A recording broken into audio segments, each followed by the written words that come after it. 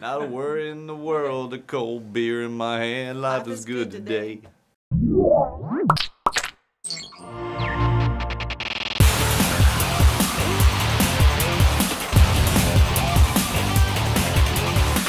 This episode of Geeky TV is brought to you by 23 and me. .com. Hey folks, welcome back to another episode of Geek Beat. We uh, are on part two I of threw you our off, didn't yes, I? you did. We're on part two of our Japan overview, where we went to Okinawa on behalf of ANA and Okinawa Prefecture. And today we're going to talk about Ishigaki. yes, so Ishigaki I is love to say island. Ishigaki. It is fun, right? It's the most fun place I've been to in Japan, at least to say. Ishigaki. say it, people. See, didn't that sound job. good? So Ishigaki, as we uh, mentioned yesterday, Okinawa is made up of, of 60 different inhabited islands. 106.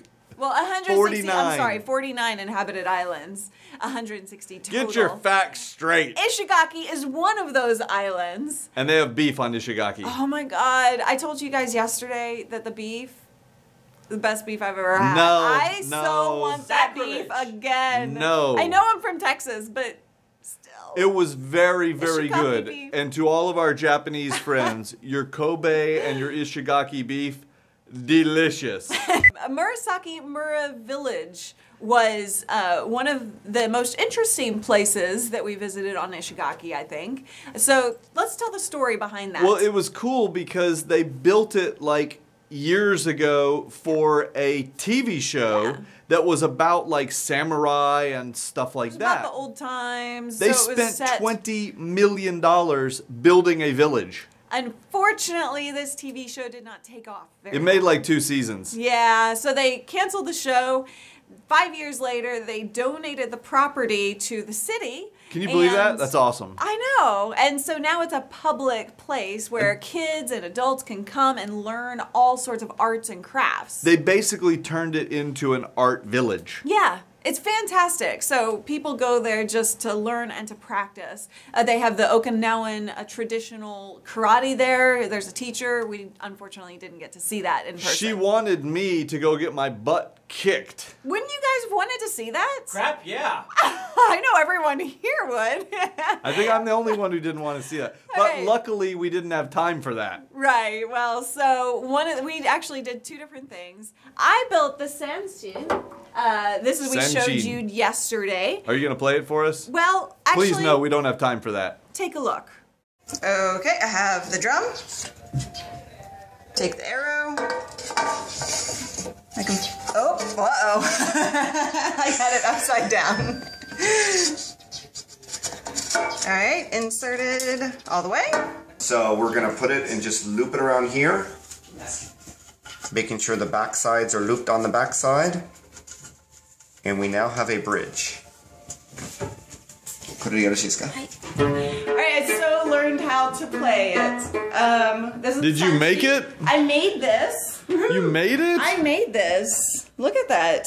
I can't believe you I made know. it. I know. I'm so proud of myself. I'm giggling.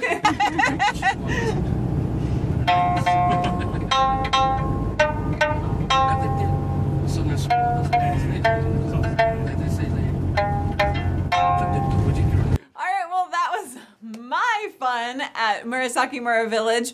But just so you know, this is what a Sanshin should sound like.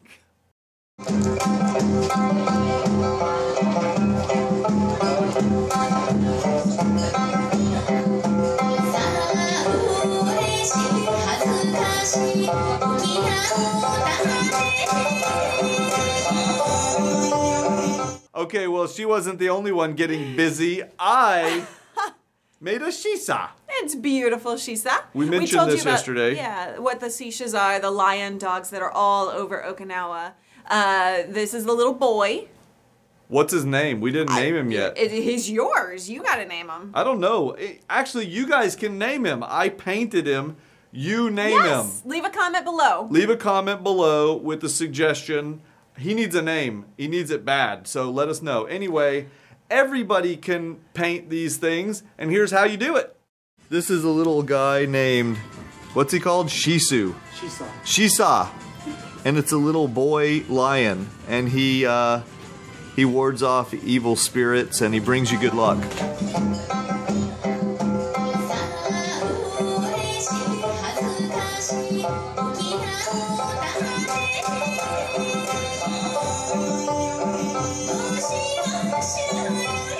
My Shisa is done.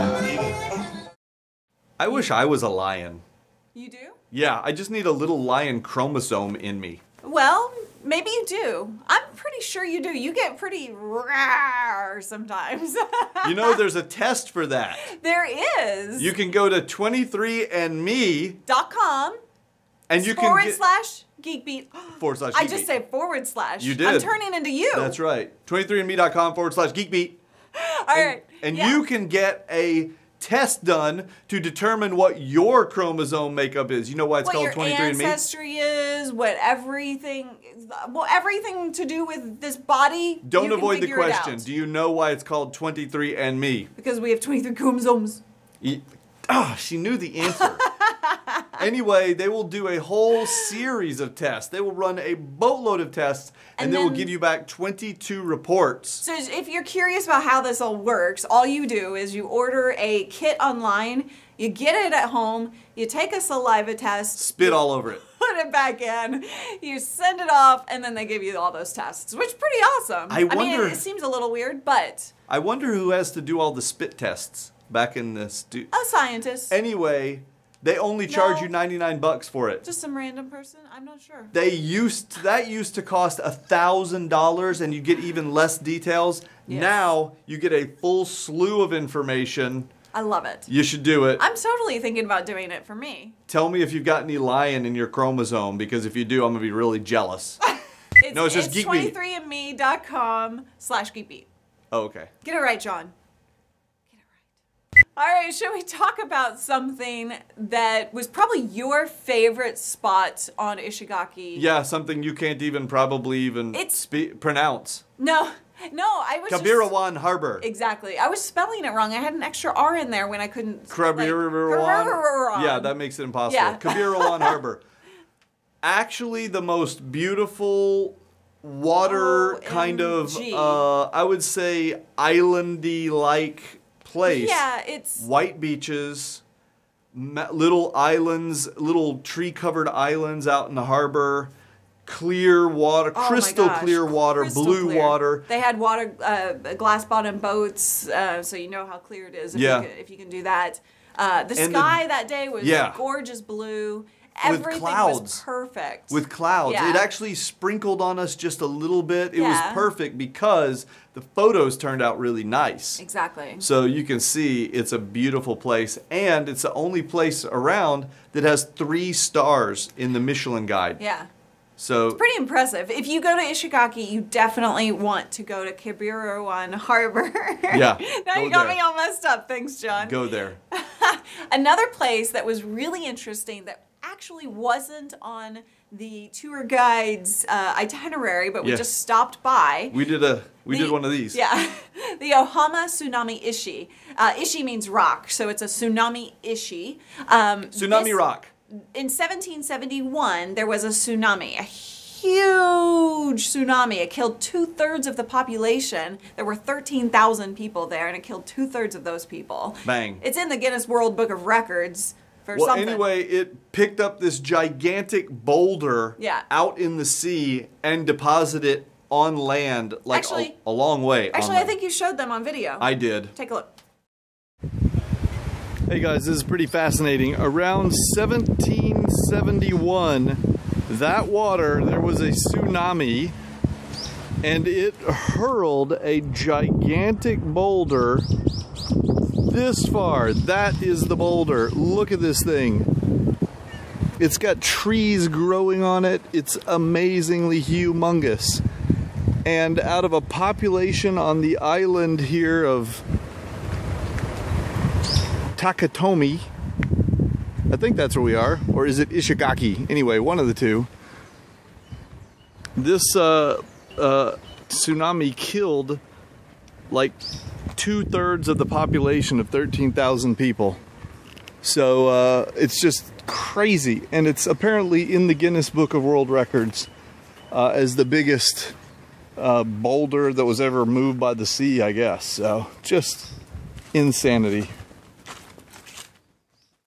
We also we drove around the island for a little bit, um, exploring other things. We and did. at one point, we tried to go up on the top of a mountain because Tried. we wanted to We look. Well, we went up there, but we were trying to look down and get a cool view of the Yeah. city. I wanted to take a, a view, a kind of panorama of the city. It was really cloudy that day. So I walked up there expecting nothing, and when I turned and looked, this is what I saw. I saw this magnificent view of kind of the mountains and the fog Yeah. and this traditional rooftop, this traditional Japanese magnificent rooftop. It turned out to be one of my favorite photos from the entire trip. Good. So And we also saw um, a, a bridge that looked like it was coming out of the trees. It Yeah. was really interesting, beautiful. I wanted to go to that.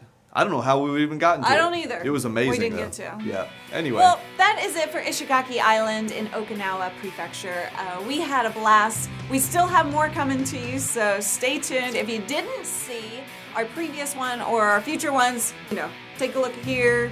Annotations on YouTube somewhere Yeah. around here. Give us a thumbs up, folks, if you want us to go back to Japan or some other cool place. Or Maybe we need to go place. to Korea Yeah. or Hawaii or any other island paradise just because you want us to, of course. That's the only reason. All for you. Thank you guys for watching. I'm Callie. I'm John. Bye bye.